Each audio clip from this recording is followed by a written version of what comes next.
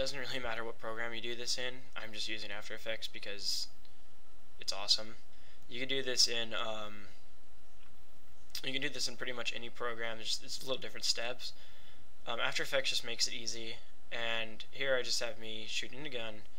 Um, it's not a gas blowback air pistol or whatever. It's just a regular BB gun. So I'm not going to do any of the slide stuff. I'm just going to show you how to do the muzzle flash and make it look realistic. Um, so what I have is this uh, just a regular muzzle flash picture I got off Google. You can use um, stuff from Action Essentials Video Copilot Pack, but that stuff costs money, but it's a little better because it has, it's actually real muzzle flashes, it has smoke, it's actually a video clip, not just a picture. But I'm just going to use that for now. And so, what I'm going to do is I'm going to find the frame right before the pistol goes up. So,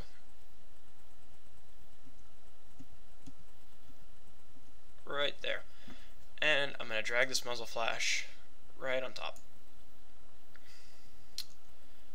And it's, as you can see, it's got black around the edges, so what we'll do to fix that is on the transfer mode, go to screen, and that gets rid of the black for you.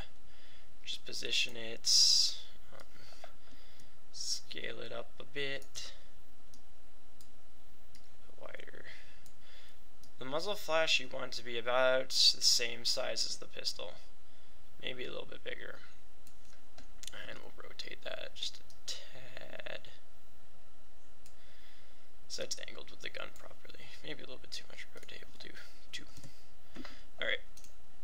Um, so once we got that, we want to uh, bring the in and out points together. So actually just drag it and then drag it for one frame long. Just one frame, that's all you need, because that's all a muzzle flash really is. One frame, so we got, boom, one frame. See? Just like that. Easy as pie. Okay, now for the realism part of this. Because um, you need environmental interaction, because when you shoot a gun off, it's um, it glows. It's because there's actually fire coming out of the barrel, usually. So what you want to do is you want to come down here to your main comp, your main video clip, and press Control D to duplicate. And then, since you duplicated it, you get this new one. And on the transfer mode, set it to Add. And that makes it really bright, which is nice because we like bright things, don't we? And what you're going to want to do is mask out the areas that would be affected by the light. So probably my hand would be right about here. Hold on. Gotta zoom in. My hand would probably be affected because it's right in front of it. Um, my face would be. It's already kind of glowing because I had a light on me. My face would be affected by this light, as well as uh, my body here, actually, because I'm standing broad-faced.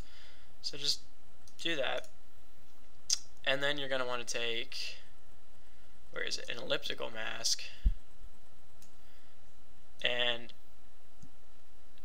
do one right at the muzzle flash. You want it kind of big because it's going to be casting a shadow.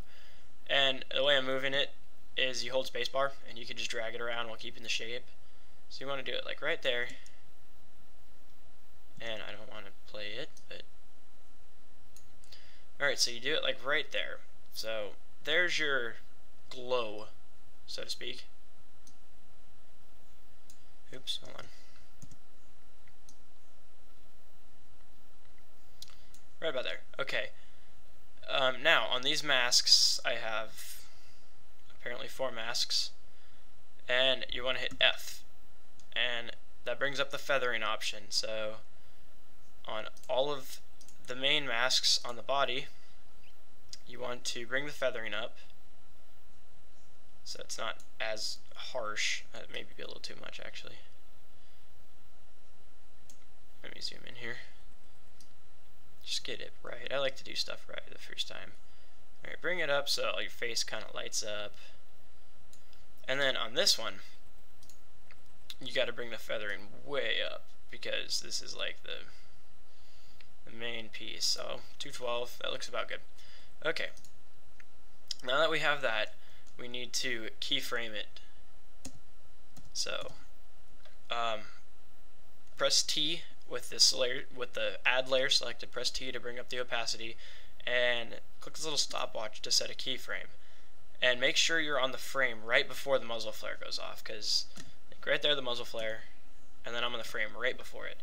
So you're going to set a keyframe and turn the opacity down to zero. And then move forward one frame to where the, uh, the uh, muzzle flare goes off, and then set the opacity back to 100, and then move forward two keyframes, or not two keyframes, two frames, and set it back down to zero to give it a little bit of time to dissipate. So, with all that, that's what you have. You have, let's do a low RAM preview quick. Hold on, let me bring this. So this is what we have. It's a little short, hold on. You see the muzzle flash go off. If you even want to, you can make it two flames or two frames long, the muzzle flare, because you can't really see it right there but you can see as I shoot the you can see the glow you can see the kind of scene light up and that's basically how you make a realistic muzzle flash. If you wanted to you can put um, some smoke effects in there um, however you really want to do it because it's your video and that's what matters. Um, and you know some sound effects. Um, actually I'll do that real quick. You know, just put just put a cool sound effect in here just like a pistol shot, so I think I have one. Hold on. Let me find it. I have a pretty good one, actually. I think it's good. You guys might not, but I like it. Because it's from a... It's from a video game replacement sound pack. And it's the USP. I think it sounds pretty cool, but it is... Um, USP 1. Actually, I'm going to also bring the slide release in. I'm going to copy Freddie. Freddie W from YouTube a little bit because he's freaking awesome. So I'm going to bring these in and just for the heck of it, just because this is a tutorial and we're having fun, I'm going to bring this in right as the muzzle flash goes off. This is the a little bit too early. There's that and the USP slide release just for that little extra oomph, that coolness. We'll bring that in like a couple frames. And we'll see how that looks and sounds.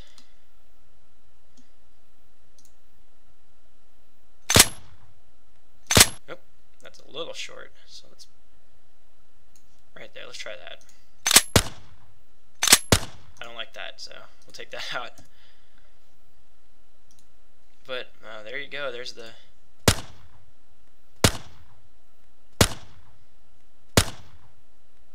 And then all you really have to do is do it again for the next one. Okay, so um, here's the the final effect with all the shots and everything and sound.